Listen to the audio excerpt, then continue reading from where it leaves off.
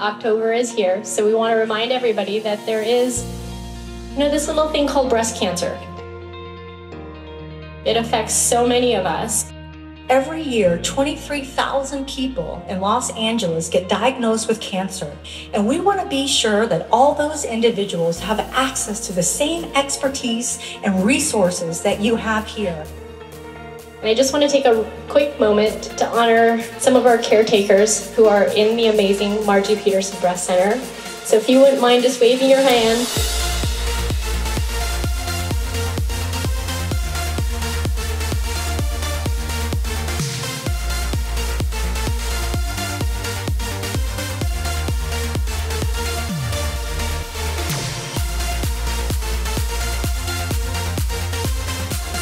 Say that nobody else in the city really does this.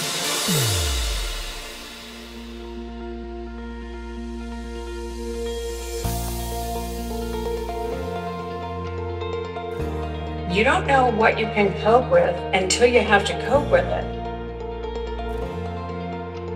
And so the choices you make aren't going to be the same as ours, but the choices you make are the choices you have to make, and you wind up where you're supposed to land.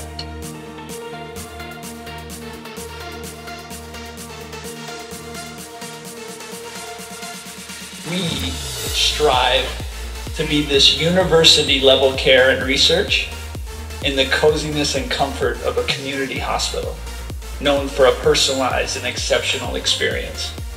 In Providence, we have a saying that every encounter has the ability to be a sacred encounter.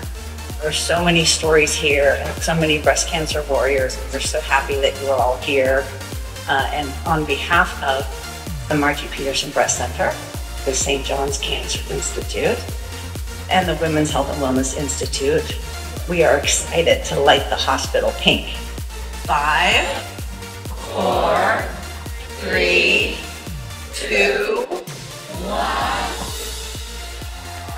Huge round of applause because of the work that they do every single day. And I'm so grateful for all of you who are here to support each other. So thank you so much.